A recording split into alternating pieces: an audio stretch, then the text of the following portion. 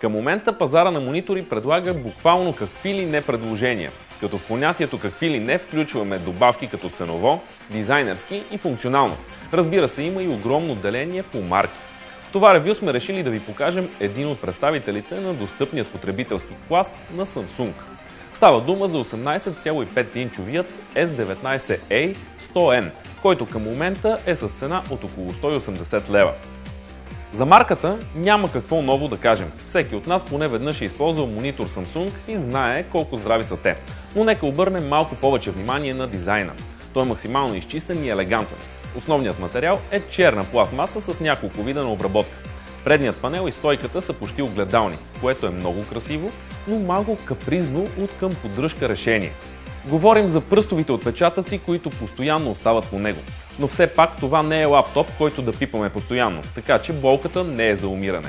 За да добиете малко по-ясна представа за габаритите на S19A100N, ще кажем няколко конкретни цифри. Той е висок 283 мм, широк е 443,4 мм, а дебелината в най-издадената точка при захранващият блок е 61 мм. Стойката съответно е с овална форма и диаметър от 214,2 мм. Благодарение на нея конструкцията стои здраво върху маса. Поклащанията са минимални. Заедно с стойката височината на монитора става 366,6 мм, а теглото 3 кг и 300 г.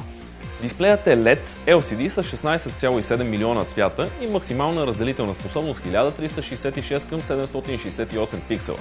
Според абревиатурата на модела следва диагонала да е 19 инча, но както споменахме в началото на ревюто, реалният размер е 18,5 инча.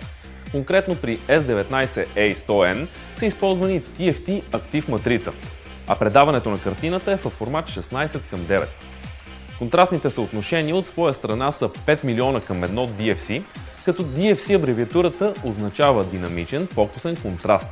Това съотношение между най-яркият и най-тъмният цвят на екрана. Яркостта е 200 кандела на квадратен метър, а екстра на която трябва да обърнем внимание е антиглер покритието, което ни гарантира безотказна работа, дори слънцето да пече директно в монитора.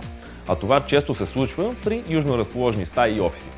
Мониторът на Samsung спокойно може да се използва за гледане на филми в средно голяма стая. От една страна заради достатъчно големият му размер, а от друга защото производителят е предоставил увеличен до над 170 градуса ъгъл на гледане. Монитор е подходящ също така за игра на игри, тъй като времето за реакция на движението е в границите на нормалното, а именно 5 милисекунди.